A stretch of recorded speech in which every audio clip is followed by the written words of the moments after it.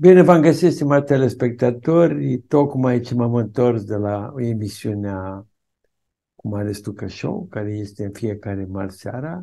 Am discutat multe lucruri, printre care și uh, despre înarmarea până în dința României, care până acum a achiziționat, a cumpărat sau a plătit arme de 20 de miliarde de dolari și uh, poate mâine seară voi discuta pe larg despre această înarmare despre care nu ni se spune nimic. Normal, adică totuși trebuie să vină cineva în fața națiunii și spune, bă români, noi stăm prost așa, așa, așa, o să vedeți ce am zis și la Mare Stucă, dar am spus numai că am venit și că voi discuta despre asta la Marius Stucă. Am abordat cu el, și acum intru deja în subiect, o știre care a trecut aproape neobservată în presa noastră de la Șgheab, și anume știrea care spune, citez, experții polonezi au confirmat că racheta care a ucis două persoane la o instalație de cereale din sud-estul Poloniei, în apropiere de orașul ucrainean Lov, a fost lansată de Ucraina. este știrea numărul unu a perioadei, nu numai pentru România, adică pentru România nu e nicio știre din asta, că era mult, sunt mult mai importante este ce s-a întâmplat în Parlament, ce a zis Ciolacu, ce a zis Boloș, este însă o știre foarte importantă pentru că vă reamintesc, pe 15 noiembrie anul trecut, omenirea era cât paci să intre într-un al treilea război mondial. Au căzut atunci, nu, două, prima dată s-a spus două rachete, apoi s-a dovedit că a fost una, care a nimerit pe, era un tip care mergea cu tractorul și cu tra- platforma și nu știu, pe el și pe cel care era pe platformă l-a omorât. Uh, France Press a transmis imediat că e un atac, că e rachetă rusească. Polonezii au fost destul de prudenți, au convocat un fel de XAT și pe la vreo 10 seara s-a lămurit că era vorba uh, de uh, că nu era un atac al rușilor, ci că era o resturile unei rachete ucrainene. Acum s-a dovedit și iată, pe fondul acestor tensiuni între Ucraina și Polonia, polonezii încep să spună adevărul că de fapt a fost o rachetă ucraineană, după părerea mea trasă de ucraineni și nu din greșeală. Pentru că ucrainenii au această practică și cu noi și cu Moldova, încercând să arate cât de eroi sunt ei că ne apără de ruși și cât de căloși sunt rușii, din când în când pun la cale câte o rachetă acolo, câte o dronă dincolo, cred că și în cazul dronelor de la noi vin de la ei, pentru ca apoi să spună, băi, iată, bă, Rusia atacă NATO, doar, doar a izbucni un război mondial, pentru că un război mondial e foarte bine pentru ei, că Zelenski are, uh, cum să zic, uh, adăposturi atomice. Am spus la Marius tu că, că acest, această dezvăluire de acum ne atrage atenția asupra caracterului criminal al falsurilor, al propagandei mincinoase duse de presa lumii, presa mare presă, nu mă refer la noi, care, mințind, ascunzând adevărul, va ajunge în situația în care a ajuns presa în occidental în 1945. Pe tot parcursul celui de-al doilea război mondial, presa occidentală i-a suflat în fundul lui Stalin. Wow, ce mare era, ce om de treabă era și eroi cu popor sovietic. Eroi cu popor sovietic care sigur a ajuns, l-a cucerit, a trecut cu cisma peste jumătate din Europa în acest timp, Stalin chiar făcuse o, chiar fusese acela Stalin, adică dislocase pe tătari din Crimea, trimisese oameni în lagăr Alexandru Solzhenitsyn a trimis, fost trimis de pe front direct în lagăr. Uh, sigur că a scăpat de cancer, dar asta nu înseamnă că dacă ajungeți în lagăr, cei care sunt bolnavi de cancer și se și vindecă. Aceste lucruri se știau și de către Marea Presă a Lumii, și de către Roosevelt, și de către uh, Churchill, numai că ei au ascuns deoarece atunci, așa cum Ucraina este acum aliată Occidentului, Uniunea Sovietică era aliată lor și nu își puteau permite să spună adevărul pentru că ei trebuiau să amețească de cap masele populare pentru că acestea să contribuie la război. Au trebuit doi ani Occidentului să întoarcă opinia publică, pentru că opinia publică până atunci fusese Stalin, erou, uh, poporul sovietic, erou, o rânduire din Uniunea Sovietică extraordinar.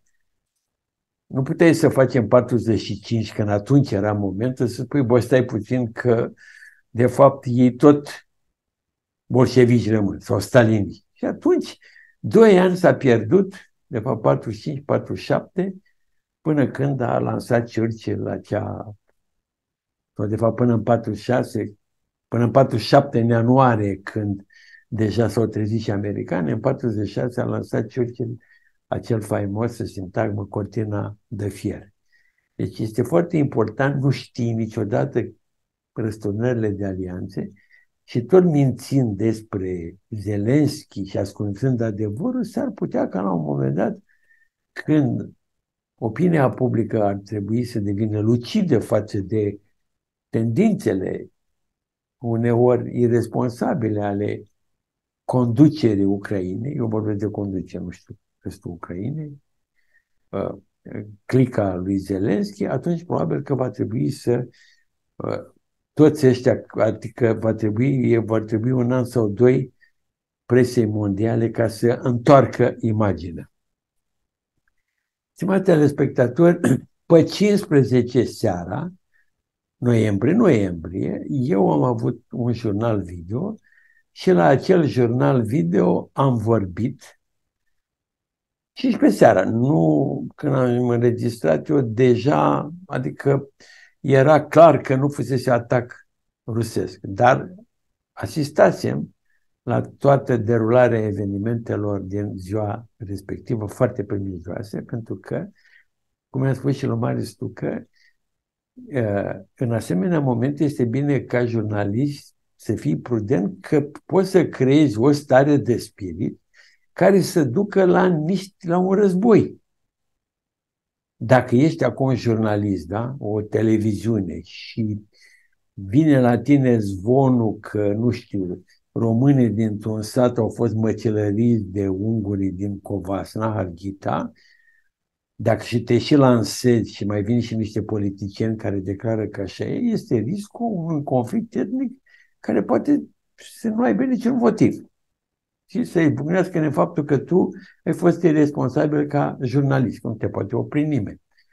Ei, în această pastilă din 15 noiembrie seara, eu fac referire la un om politic irresponsabil care se numea și se numește Marcel Ciolacu. Ia să vedem tot ce am spus eu în seara de 15 noiembrie. La, pe la 8 și ceva, presa locală de lângă, de la granița Poloniei cu Ucraina, au anunțat că a lovit două rachete, rachete, nu știu, o fermă, au răsunat un tractor, au murit doi oameni, da? De aici până la spune că Rusia a atacat o țară membră NATO, este o distanță uriașă, din mai multe motive. Vă spun de pe acum. Unu, putem vorbi de un atac al Rusiei asupra unei țări membre NATO câtă vreme rachetele alea, lovitura era asumată de ruși. Hai că rușii au anunțat până la am lovit cu două rachete o fermă de, sau ce, un vagon de furaje pentru că noi vrem să atacăm NATO. Rusia a declarat oficial că nu, nu sunt rachetele lor. Nu știu, or, se poate să fie ale lor, se poate, Poate că în cazul atacurilor ele făcut la rachetele care au fost lansate asupra Chievului și altor uh, localități din Ucraina, să fi zis că din greșeală să fi ajuns două, da, la graniță, n-a ajuns la Varșovia. Bun, putem presupune din greșeală. Dacă eu mă duc și, uh, cum să zic, vreau să sparg geamul vecinului și în loc de ăsta lovesc uh, geamul celuilalt vecin, ăla vine și mă omoară. Bă, am greșit. Din punctul acesta de vedere, nicio analiză până acum verificare nu spune că au fost rușleși, că au fost ucraineni sau marțieni. Nu spune că au fost. Uh, sigur că Franz Presc, v-am mai spus, deci marea banditism începe de acolo.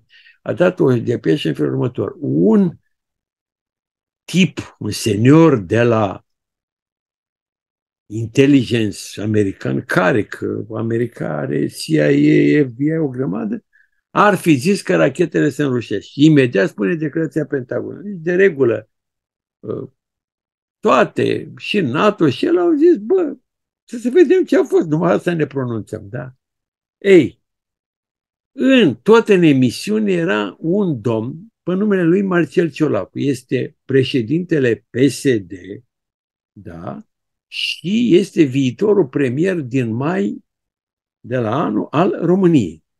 Dacă va candida la președinție, poate să fie și președintele României. Bun, încă o dată, la România TV, în timp ce se dă știrea aceasta, în studio este viitorul premier al României, președintele principalului partid PSD, da?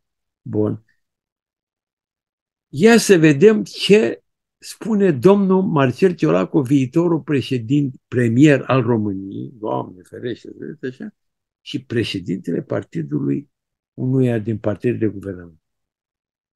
Cale lungă până acolo și rămâne să vedem ce se va decide în ședința care începe în această seară. A început, de fapt, la ora 21 uh, la Varșovia. Mulțumesc mult, Marius, să așteptăm update-urile pe această temă. Domnule Ciolacu, sunteți al treilea om în stat. Îți informații suplimentare față de cele... Până, uh... până în acest moment, nu. Nu este e foarte grav, este atacat un uh, stat, stat membru, membru NATO. De aici o să presupun că lucrurile se vor desfășura cu rapiditate și vor fi anumite decizii în această noapte. Dacă polonezii vor cere activarea articolului 5 din tratatul de aderare al NATO al tuturor, presupun credeți că, că se impune o convocare a statului de urgență presupun, și la noi? Presupun că sunt îndreptățiți să facă acest lucru. Păi da, da, suntem și Sunt noi țară NATO, la fel ca și multe este alte... Este o agresiune asupra unui stat membru NATO. Bun. Și mă respect. După părerea mea, cel mai grav fapt nu e faptul că au căzut rachetele faptul că noi avem asemenea politicieni. De ce spun? Este foarte grav, e atacat un stat membru NATO. De unde e atacat un stat membru NATO? Că nu s-a pronunțat NATO, n-a zis nimic până acum. Și nu e nicio dovadă. Presupun că lucrurile se vor desfășura cu racur, cur, rapiditate și vor fi anumite decizii în această noapte. Întrebat dacă Polonia ar putea solicita activarea articolului 5 din NATO, Ciolacu a răspuns, ghilimele.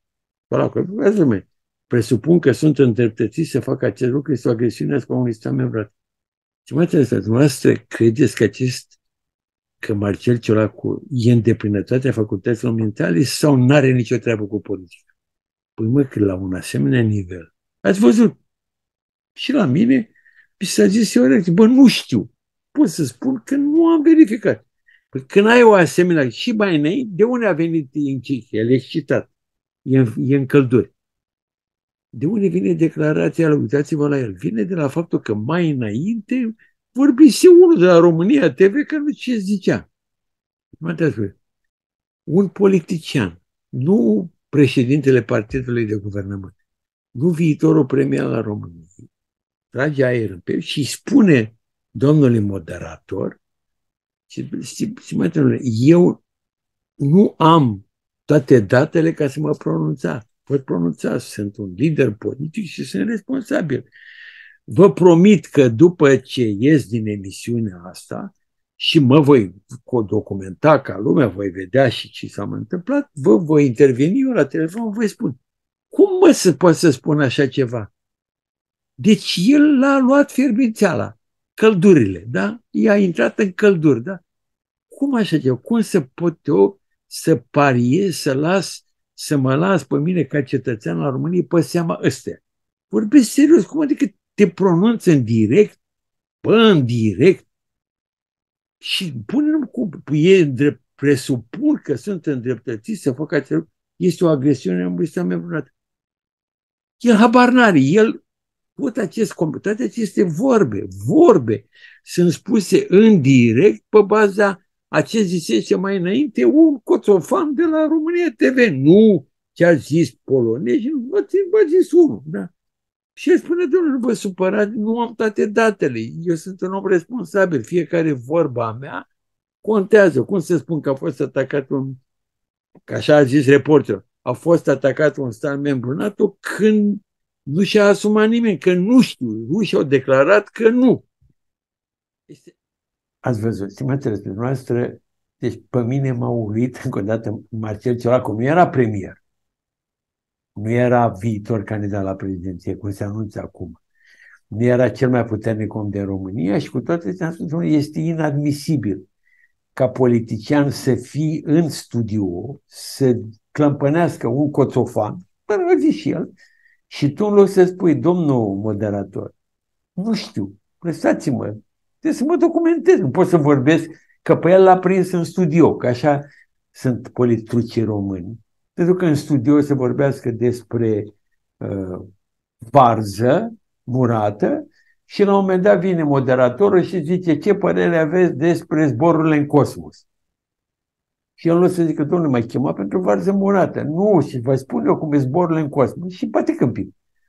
Uneori, plecând de la cum a plecat Marcel Țolacu, de la ce a zis, mai înainte. Bun. Marcel Ciolacu, ei, eu, o întrebare. Marcel Ciolacu a citit știrea, da? nu e rușine acum că este. El când va ajunge președintele României va face la fel, adică va face în studio și va veni un coțofan și va spune domnul președinte, să știți că rușii ne-au atacat sau ucrainenii sau belarușii. Și el, fără să zică, domn, gata, este o agresiune și vom declara convoc de pe acum sat. Bun. Deci acesta, această știre, repet, atrage atenția că este mai mult de nu atrage atenția că această preocuparea mea de la începutul războiului nu este nici pro-ucraineană, nici pro-rusă, nici măcar pro-român. Este pro-adevăr. Și eu știu din istorie, că am 3000 de ani sunt bătrân, din lecțiile de istorie, că, uh, cum să zic, este bine, mai ales acum, să consider poporul tău, opinia publică, suficient de matură la cap și să-i spui adevărul. Nu e nicio problemă. Este tot ce se întâmplă cu acest război din Ucraina. Am înțeles că ucrainenii, ca și rușii care se află în război, au o mașinărie de propagandă de război. Am înțeles că America, pentru că America de fapt se bate cu Rusia, și-a inventat tot felul de instrumente de, uh, cum să spun, de falsificare a realității. Institutul de studiere a războiului. Aveau nevoie de un organism de dezinformare și atunci, bă, creăm un institut minte cu nerușinare, eu nu le citesc. Declarațiile tot felul de besencisme, ca și de la noi. Era până nu de mult ministru apărării al Angliei. Și bă, totuși, ministrul ăsta al apărării n-are altă treabă. De tot felul de... După asta veneau ăla, șeful sau de la... E mai sic și am zis, bă, până acum nu se știa cum arată. Tot felul de declarații care erau, de fapt, sunt instrumente de manipulare. Un șef de serviciu minte și că respiră. Normal că de aici șef de serviciu, de nu mai spun de la de pe teren. Niciodată nu știi ce el, nici el nu mai știe ce e. E sub acoperire, cu diferite legende și uneori trebuie să mintă crezând că spune adevărul. Așa, bun. Deci asta este foarte important. Și acum să trecem uh, la un alt subiect care m-am... Uh, astăzi m-am stricat de râs despre cum au reușit din nou băieții, adică Ciolacu și Ciucă, să tragă pe sfoară presa. Și anume avem diversiunea, era cât paci să se facă pulbere pilonul 2 de pensii. Să începem cu ce s-a întâmplat astăzi în Parlament. Întrebat, deci în Parlament a avut loc o ă, lectura proiectului de lege pentru care guvernul Ciolacu și-a asumat răspunderea. Asumarea răspunderii înseamnă în felul următor. Cel guvernul care își asumă răspunderea citește proiectul de lege, pachetul cum e acum, dacă se depune moțiune de cenzură în, în trei zile, dacă nu se depune moțiune de cenzură în trei zile, legea este adoptată, guvernul rămâne. Dacă se depune moțiune de cenzură și ea nu trece, legea adoptată, guvernul rămâne. Dacă se depune moțiune de cenzură și trece, cade și legea, cade și guvernul. Din punctul de vedere al căderii guvern, al moțiunii de cenzură, lucrurile sunt clare. Azi s-a văzut că UDMR participă la guvernare, deoarece domnul Chelemen Honor a fost la întâlnire încă la guvern cu Nicolae Ciucă și cu Marcel Ciolacu și s-a văzut încă o dată ce înșiruire de căcăreze este opoziția. N-au reușit să nici măcar, adică nu, n-au reușit și nu vor reuși să depună moțiune de cenzură. Sunt atât de fărămițați, atât de neghiobi, atât de autori de căcăreze. A venit drulă de la basculă și ne va spune că ne-a spus că USR va depune la Curtea Constituțională. Păi, drulă de la basculă. Până acum, USR-ul a călcat în picioare Curtea Constituțională, spunând că este veche cu tare. Păi de ce te mai duci, mă, la ăia dacă până acum erau comuniști, ticăloși, securiști? Deci tu spui, bă, nu mă duc. Asta este o chestiune din ăsta de 2 lei, că lasă că depun la curtea. Nu, trebuia depus moțiune de cenzură. Spectacolul iar din Parlament îl cunosc. Stimatele pentru un politician ca Marcel Ciolacu poți să vină șoșoacă să stea în cap cu fustele în cap și cu ciorapi în cap. Am dat un exemplu. Poți face orice în Parlament. Problema este fapta, să nu depui moțiune de cenzură să nu-l trântești. Restul sunt din ăla spectacole, iar cunosc, cu pancarte, nu are nicio valoare. Bun, deci a fost astăzi un eșec al democrației românești. A fost însă un mare eșec al acestei legi. Și o să vă spun și de ce. Uh, să fac un scurt proiect al acest un traseu al acestei legi acestui pachet. El a fost adoptat de guvern, așa numită în prima lectură, și potrivit legii a fost pus pe site-ul guvernului spre dezbatere publică.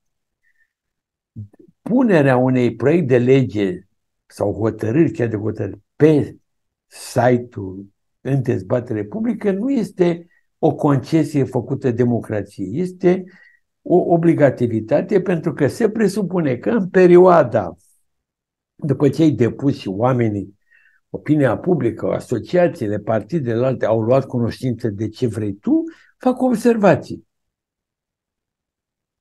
De observațiile acestea și aceste observații, aceste tu le guvern aștepți și după ce s-a terminat dezbaterea publică, nu mai spun că la proiectul de lege al educației, mai țineți minte, fostul ministru, uh, rector al uh, Academiei de Studii Agricole sau de Științe Agricole, așa și deci prin țară. Normal era, nu că la, numai să-l pună, normal era ca domnul Ciolacu să organizeze dezbateri cu tare, toate sub semnul, bă, am făcut și noi un document să vedem ce spun și alții.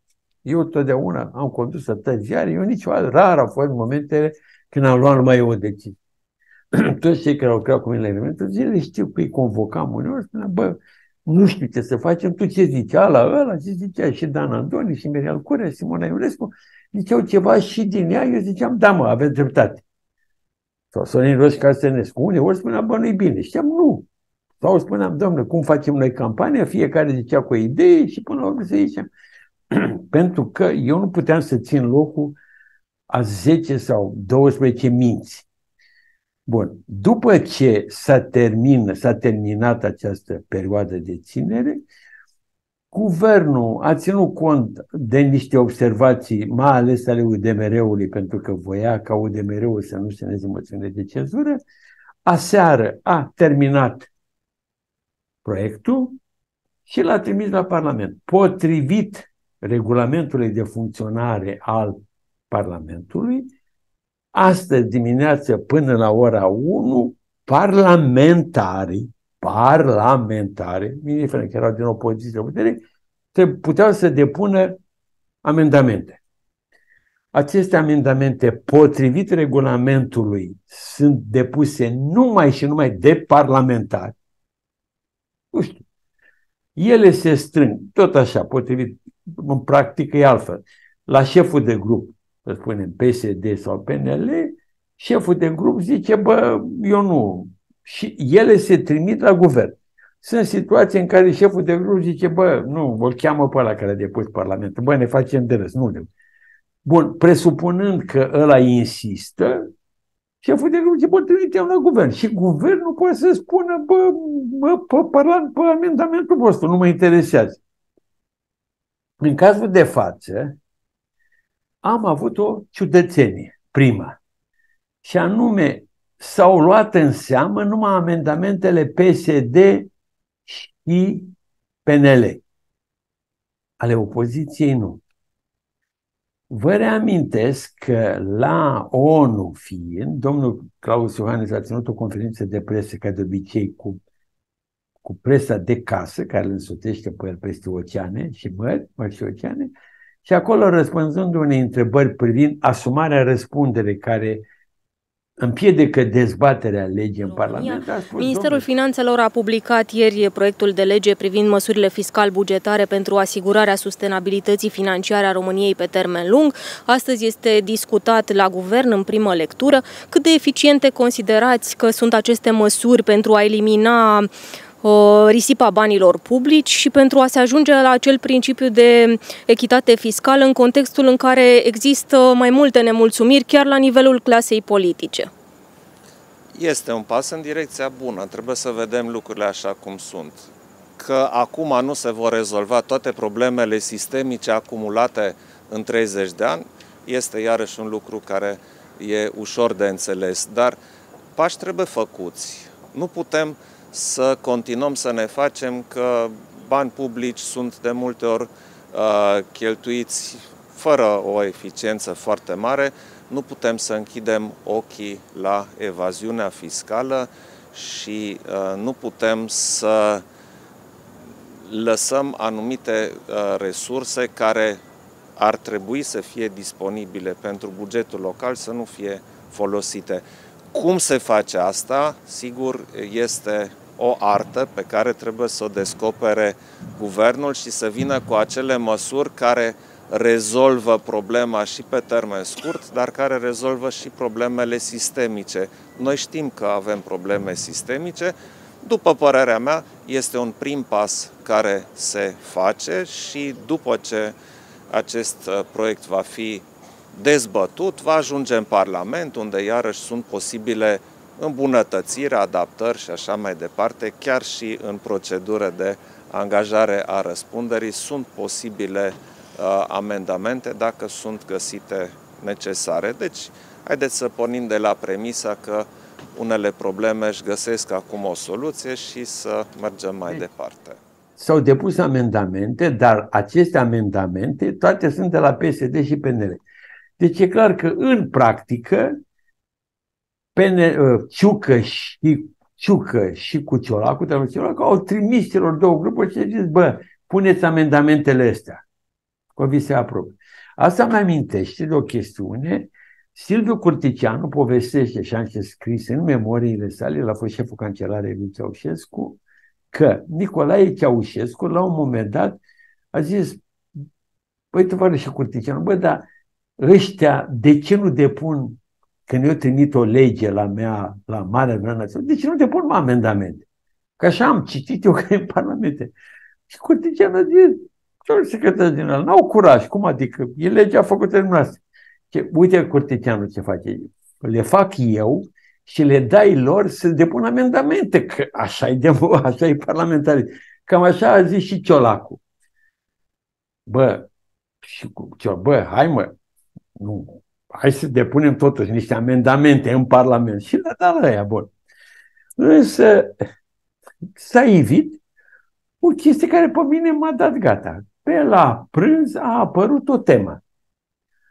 Tema era cum, a, mai și mai pe seară, și l-am văzut și la gâdea care transpira acolo, îi transpirase tot, ă, spunând următoarea chestiune. Ă, era cât, pa, nu, pilonul 2 de pensii, nu, cine a, a, cineva a încercat să dărâme pilonul 2 de pensii, nu știu, la privat, da? Păi și cum a încercat? Și apoi am văzut derularea și m-am stricat, nu m-am stricat, mi-am dat seama cât de proști ne consideră ăsta și așa și este. Uh, v-am explicat care este procedura. Proiectul s-a trimis la Parlament dimineața și potrivit, potrivit regulamentului, fiecare parlamentar PSD putea să depună un amendament. Amendamentul spunea așa, amendament la articolul cutare sau la lege semnat de Ion Cristoiu sau Ion Popescu. Nu ai cum. Amendamentul este semnat de un parlamentar. Ele merg apoi la șeful de grup și șeful de grup va zis, zice, bă, nu, hai mă. Și, sau le trimite la guvern. Și guvernul spunea, bă, nu mă interesează.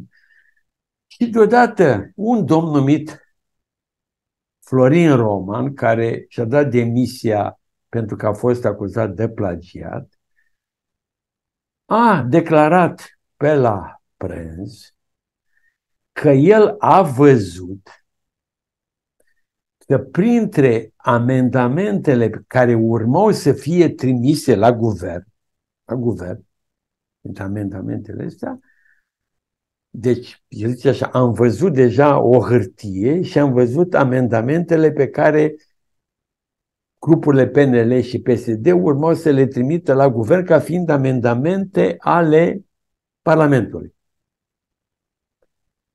Și mi-am dat seama, zice el, Florin Roman, că era un, am văzut un amendament acolo în care se cerea distrugerea, nu știu cum să spun, naționalizarea pilonului 2 de pensii. Și începe el, câte fătuce, câte coțofene fătuce și gogomani, care o ascultau. Băi, și știți că noi, PNL-ul, ne-am bătut patru ani pentru pilonul de pensii, am intervenit, am făcut gălăgie, am spus Luciucă și amendamentul ăla nu a mai mers către guvern.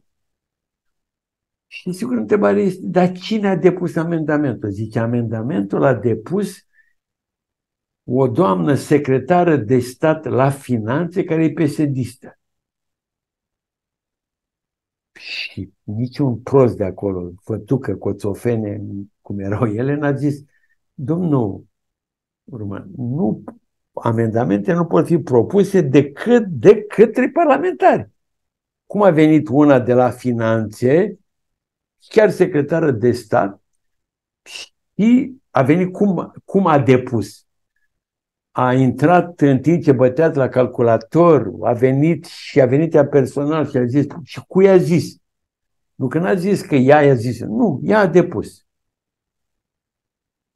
Bun, admițând, admițând că cineva depunea din Parlament, repet, nu e nimic, ajungea la guvern și guvernul nu discuta.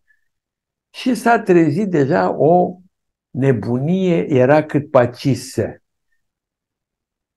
La început am zis că e o șmecherie a PNL-ului care vrea, am văzut și ce a făcut Alina Gorghiu, care vrea să arate că are, a avut o poziție, că dacă nu era PNL-ul, PSD-ul distrugea. După asta am văzut emisiuni, m-am uitat plecând de la Tucă, emisiunea lui Gâdea. Când Gâdea face ceva, este ca și cum ar face nepotul lui Ciolacu. Pentru că Gâdea este omul lui Dan Voiculescu și Dan Voiculescu trebuie să-i sufle în fundul Ciolacu pentru că partidul lui de 2 lei, de dus într-un coșuleț de scufița roșie, are abia un coșuleț, da? Trebuie să, să, să urce pe spinarea elefantului PSD să intre în Parlament. O știu asta. Întotdeauna Dan Voiculescu și-a folosit trustul pentru ca să-și pună niște oameni în Parlament sau în guvern. Și a început gâdea. Uh, o încercare de a distruge pilonul 2 de pensii. Băi, zic, nu se poate să fie atât de nărod și să nu vadă că nu avea cum să depună amendament cineva din afara Parlamentului. Și l-am văzut pe Boloș. Boloș putea să spună așa, domnul Gâdea, nu are cum să depună. Nu e în Parlament. Nu, nu există. Boloș, culmea este că nimeni de presă n-a sunat-o pe tantea nu știu, mai, nu știu cum îi zice. Am un lasul să ia să vedem. Cum îi zice mă tantea asta? A, așa, stați așa, stați așa, stați așa, ca să nu greșim, da? A, așa, ia. Cine a făcut? Așa, așa, așa. Doamna Daniel Pescaru, secretar de stat la Ministerul de Finanțe, da? Păi bă, doamna Pescaru ăsta trăiește, da? De azi, de la prânz, n-a întrebat-o nimeni. N-am văzut nicăieri în presă. Bă, l-am sunat-o, doamnă, ce v-a apucat? Presupunând că nici nu putea, dar poate că nu știu, poate că în vi- pentru că exact ca în filme, poate că ea are o putere supranaturală și ea a putut să transmită prin senzori și a apărut amendamentul ei ca și cum ar fi în Parlament. Nimeni. Domnul Boloș îmi să zică, domnule, eu am vorbit cu doamna și am întrebat-o ce v-a apucat. Zice, doamne, întrebați-o pe aia. Opa! Ciolacu, în loc să zică, întreba și el, Băi, zice, nu zic, bă, nu se putea și zice, o să vorbesc și eu cu doamna respectivă, că e de la PSD, ce a apucat? N-a zis nici el nimic. Ceea ce mă convinge că am asistat la o diversiune de 2 lei, pusă la cale de Ciolacu, cu două obiective. Unu, să dea posibilitate peneliștilor să iasă cât de cât cu fața curată. Marcel Ciolacu are un interes uriaș ca cei de la PNL să nu-și dea seama că sunt morți. Ei sunt morți. Dar el le suflă în gură, așa, din când în când, gură la gură, respirație, ca nu cumva ei să-și dea seama. Și atunci a zis, bă, lasă să facem noi chestia asta și în felul acesta PNL-ul nu pare chiar tâmpit, pentru că toate aceste măsuri sunt împotriva electoratului PNL. Cu precădere sunt toate astea, lovesc afacerile și proprietatea privată. Al doilea obiectiv a fost de ca să nu se mai discute nimic despre proiect. Nimic, nimic, nimic. Toată seara, toate televiziunile, cum era cât pacise. Și mi-am amintit că în memoriile sale Argetoianu, parcă prin 33 sau 35, scrie așa. Citesc în Universul despre cum era o șalupă să lovească un vapor, dar nu l-a lovit, dar dacă l-ar fi lovit, scria în Universul, scria Getoianu, ar fi murit o mie de oameni cu tare, cu tare. Și Argenteanu ce bă, dar nu l-a lovit. Argenteanu a zis, presa lui uh, era cât pacisă.